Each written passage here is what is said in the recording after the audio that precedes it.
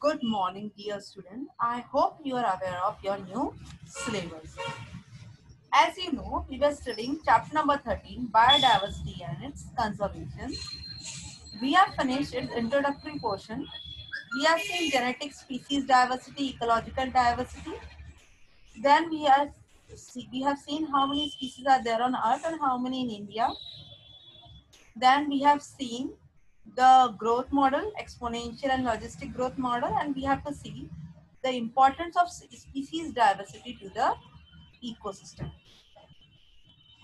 किसी भी इकोसिस्टम में स्पीसीज की जो स्टेबिलिटी uh, है वो मैटर करता है और ये किसी कब एक्वायर होती है जब वहाँ पे स्पीसीज की बहुत ज़्यादा रिचनेस हो many ecologists believe that communities with more species generally tend to be more stable than those with less species. अगर अच्छी स्पीसीज है रिच है वहाँ पे ज़्यादा स्पीसीज है तो नेचर का भी उसके ऊपर कोई इफ़ेक्ट नहीं पड़ता ज़्यादा। डिसएडवांटेजेस uh, वाला इफ़ेक्ट नहीं होता ज़्यादा। कोई अगर एलियन स्पीसीज है ना कोई बाहर की या कोई जिसको कहते हैं एक्जॉटिक स्पीसीज भी अगर उसमें शामिल हो जाती है तो भी उसके ऊपर क्योंकि स्पीसीज की रिचनेस है ऑलरेडी उस इकोसिस्टम में उस कम्युनिटी में तो भी उन किसी बाहर की स्पीसीज के आ जाने से उनको इफ़ेक्ट नहीं पड़ता। सिमिलरली उनकी जो प्रोडक्टिविटी है उसमें भी वेरिएशन ज़्यादा नहीं आते।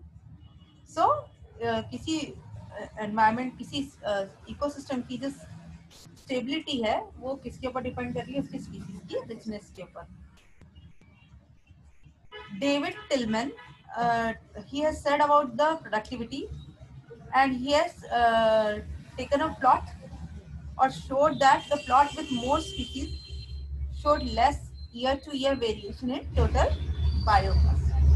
जो डेविड टिलमन थे, उन्होंने एक प्लॉट में ये एक्सपेरिमेंट करा था और उन्होंने कहा था कि ज़्यादा वेरिएशन नहीं दिखते हैं उन प्लॉट में जहाँ पे ज़्यादा स्पीसीज पाई जाती है ऐसे ही पॉल एनरिच ने रिवर्ट पॉपर हाइपोथेसिस दिया था which is very important and usually asked in your exam तो पॉल एनरिच ने ये हाइपोथेसिस दिया था, उन्होंने कहा था कि the rich biodiversity is essential for ecosystem health it is also imperative for the very survival of human race on this planet in an ecosystem all the species are interlinked through various types of relationships Loss of even a few species may be disabling effect.